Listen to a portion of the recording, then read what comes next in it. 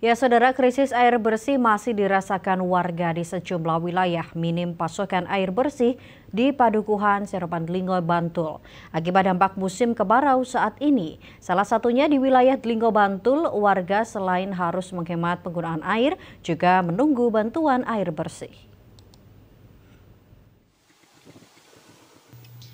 Dampak musim kemarau dirasakan sebagian warga di wilayah Kapanewon Telingo, Bantul, salah satunya warga di Padukuhan Seropan Telingo yang mengalami kekurangan pasokan air bersih untuk kebutuhan sehari-hari. Kabar datangnya bantuan air bersih disambut rasa syukur warga yang kemudian menunggu sambil menyiapkan tempat air. Menurut warga, datangnya bantuan dropping air dari komunitas Berkah Jogja berbagi ke kampungnya sedikitnya dapat meringankan beban kebutuhan air mereka daripada harus membeli. Di musim kemarau, satu-satunya sumber air warga yang berada di lereng perbukitan debitnya terus menyusut, sehingga tidak mampu lagi mencukupi kebutuhan seluruh warga.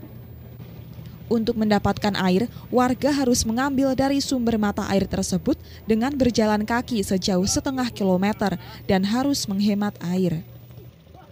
Mungkin ada hajatan misalnya apa kehajatan-kehajatan yang agak besar itu membeli. Saya sering untuk suruh membelikan dari tangki-tangki yang ada. Tapi untuk harian misalnya untuk minum untuk apa kebutuhan sehari-hari itu sudah mencukupi asal kita rajin tiap pagi sore itu bisa mengambil dari sumber itu. Kami dari Berkah Jogja Berbagi bersama Amanah Takaful merasa ikut prihatin dengan adanya bencana kekeringan. Kami berusaha sedikit berbagi untuk masyarakat yang mengalami kekeringan Wilayah Padukuhan Seropan termasuk kawasan langganan krisis air bersih setiap tahun di musim kemarau karena sumber air yang ada terus menyusut.